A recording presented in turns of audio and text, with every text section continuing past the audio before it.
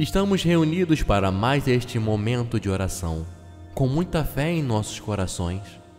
Em nome do Pai, do Filho e do Espírito Santo. Amém. Que nesse dia possamos ter, cada um de nós, uma atitude de fé e confiança, acreditando e confiando na presença do Senhor em nossas vidas. Aqui estamos nós, reunidos em nome do Senhor e por isso eu convido você a deixar suas intenções de orações aqui nos comentários do vídeo. Desse jeito, estaremos todos orando uns pelos outros, unidos, com nossa fé, fazendo o que o Pai nos pediu: orarmos uns pelos outros. Vamos começar este momento fazendo juntos a oração que o Senhor nos ensinou. Pai nosso que estás no céu, santificado seja o vosso nome. Venha a nós o vosso reino. Seja feita a vossa vontade, assim na terra como no céu. O pão nosso de cada dia nos dai hoje. Perdoai-nos as nossas ofensas, assim como nós perdoamos a quem nos tem ofendido. E não nos deixeis cair em tentação mas livrai-nos do mal. Amém. A oração da manhã. Ele é a nossa paz. Ele é a nossa paz. Do que era dividido, ele fez uma unidade. Leitura da carta de São Paulo aos Efésios.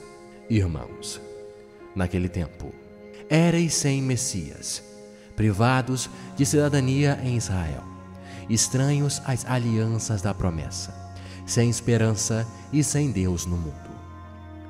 Mas agora, em Jesus Cristo, vós que outrora estáveis longe, vós tornastes próximos pelo sangue de Cristo. Ele, de fato, é a nossa paz. Do que era dividido, ele fez uma unidade em sua carne, ele destruiu o muro da separação, a inimizade. Ele aboliu a lei com seus mandamentos e decretos. Ele quis assim, a partir do judeu e do pagão, criar em si um só homem novo, estabelecendo a paz. Quis reconciliá-los com Deus, ambos em um só corpo, por meio da cruz. Assim, ele destruiu em si mesmo a inimizade. Ele veio anunciar a paz a vós que estáveis longe, e a paz aos que estavam próximos. É graças a Ele que uns e outros, em um só Espírito, temos acesso junto ao Pai. Assim, já não sois mais estrangeiros nem migrantes, mas concidadãos dos santos sois da família de Deus.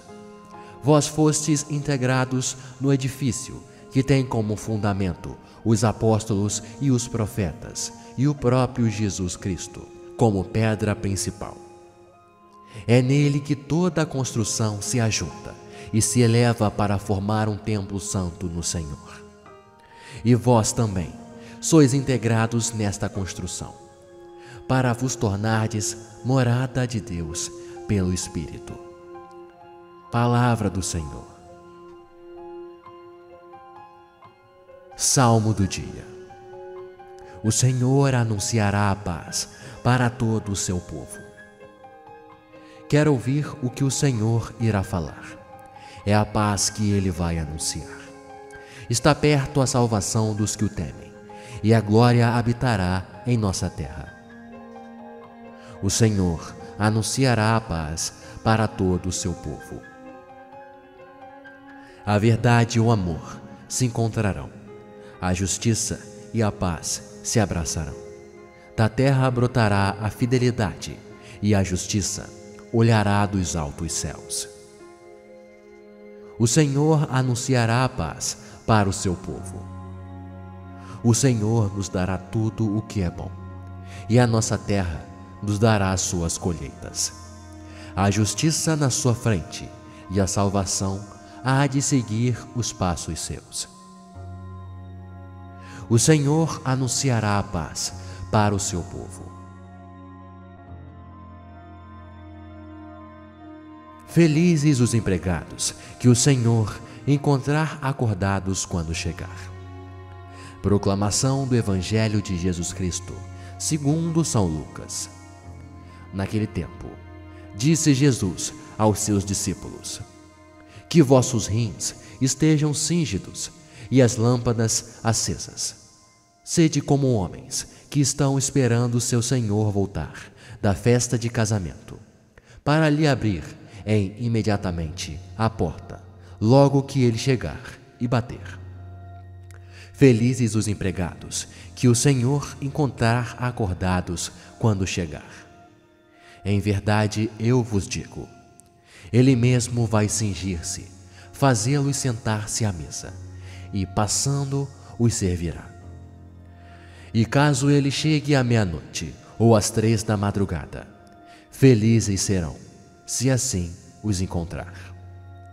Palavra da salvação.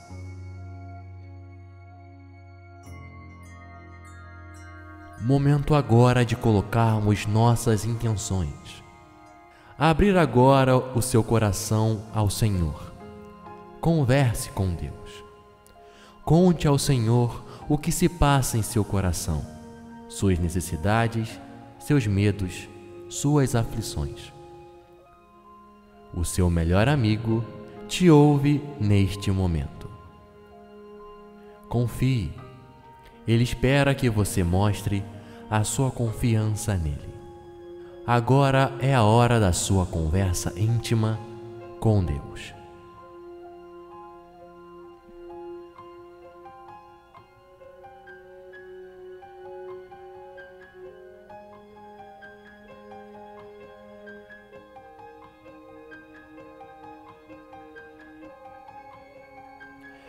Que Deus abençoe o seu dia e esteja com você em todos os seus caminhos. Amanhã estaremos de volta com mais uma oração da manhã. Se inscreva em nosso canal para que receba o aviso de nossas novas orações. Faça parte conosco. Tenha um bom dia.